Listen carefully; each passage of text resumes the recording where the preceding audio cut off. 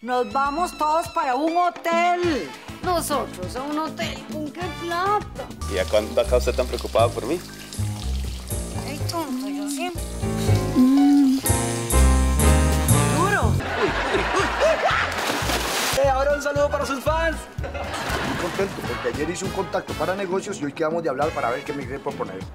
Macho, esos son tecnicismos de abogado, eso no es nada, que importa. Recuerde, su cita es con la pensión por su teletica.